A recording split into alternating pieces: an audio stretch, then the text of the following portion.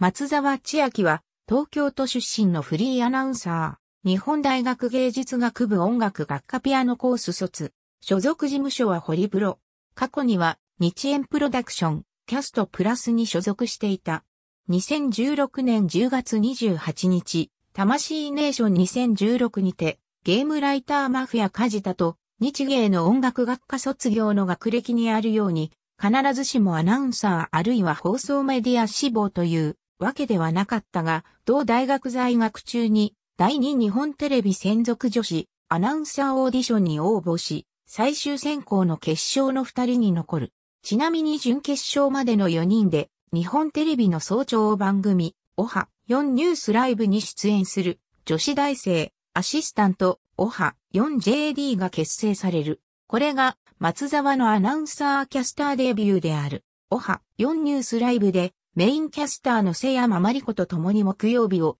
担当していた。サブキャスター中田明の大学の後輩にあたる。2007年4月から日経 CNBC にてフリーのキャスターとして活動を開始。日経 CNBC の新卒採用は初の試みであった。2008年9月25日をもって日経 CNBC との契約終了により卒業となった。2009年4月よりキャストプラスに移籍し、同月2日から TBS ニュースバードのキャスターを務める。ニュースバードでは2007年から先日の第2日本テレビ専属女子アナウンサーオーディションで初代専属女子アナに選ばれた中村明美が活躍しており、およそ2年ぶりに松沢と中村は同じ職場となった。2009年7月からは東京証券取引所からのレポートも担当。なお、同年3月27日までそのニュースバードの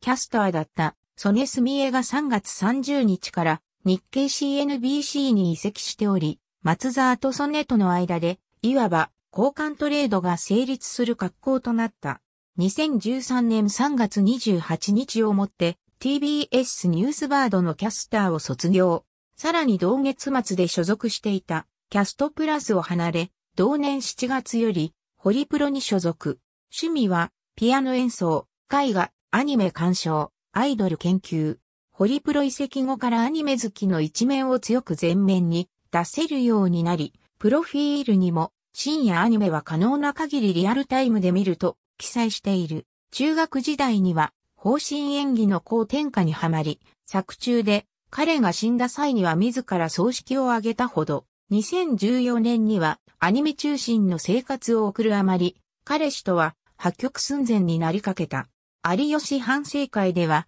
2014年春シーズンの一番好きなアニメをラブライブと語るものの、関東では同番組がちょうど裏番組となることから、K としてラブライブの視聴禁止を宣告され、戦術の理由ゆえに本気で困る様子が放送された。その後、ポニーキャニオン主催ライブイベント P、S ライブ例に開催記者会見の司会を務めた時には登壇者であり、ラブライブに出演している三森鈴子から有吉反省会の録画見ましたと言われるオチまでついた。一番好きなアニメはデジモンアドベンチャーと少女革命ウテナだと頻繁に発言しており、2014年8月1日のデジモンアドベンチャー15スアニバーサリーイベントから今、冒険が進化するマイナスでイベントの司会を務めた際、大のデジモンファンである松沢は冒頭で感激のあまり大泣きしながら登場した。